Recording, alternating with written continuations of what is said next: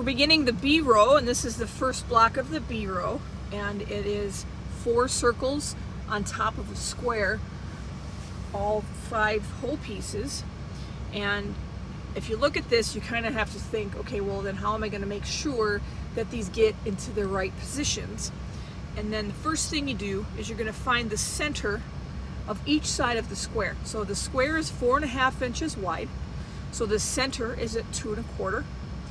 Then you're going to find the center of that segment, which is at one and an eighth on each side. So you're going to do this on all four sides. And I've done this on my square here. So I've done all this and I've got this grid section. And what this is going to do, what I'm going to do then is I'm going to baste this down. Then I have these circles, and I, what I did is I found the longest, the, the biggest portion of each side and drew a line to find the center.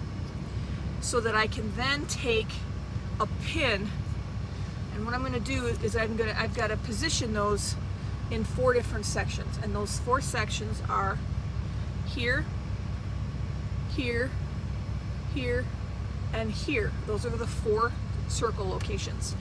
And so after I baste this square, I'm gonna baste these circles. And I'm gonna use a gathering stitch all the way around each circle and then pull them nice and snug and then thread baste them one more time.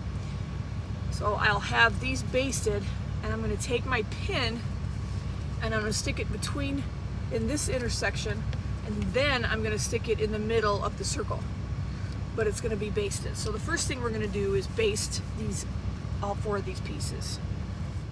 So I've got my square basted and all four of my circles. So I'm gonna take my square first, put a pin in the intersection that one of the circles goes into, take my circle and put it in the intersection of the center of the circle and put that on the pin.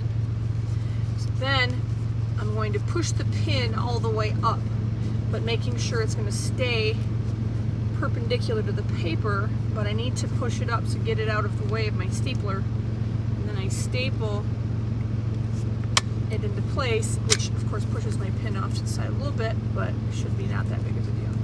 So I'm gonna do this with all four of these, and this is, I gotta push these down because they didn't go through all the way.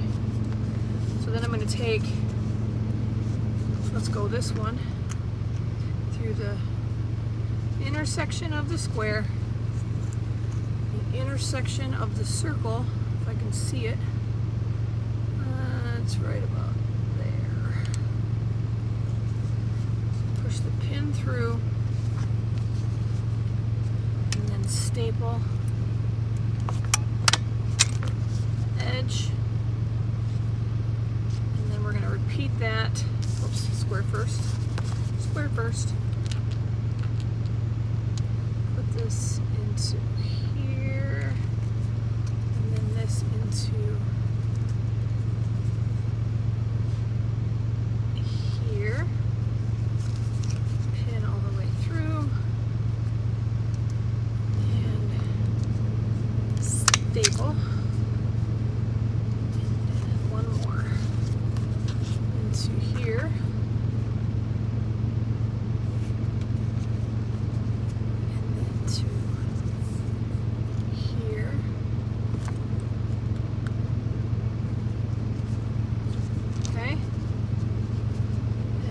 staple this last one.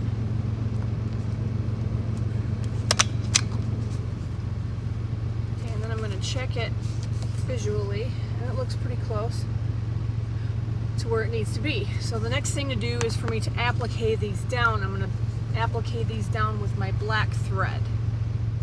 So I finished the applique and I've removed my stitches and my staples from each circle and my B1 block is now completed.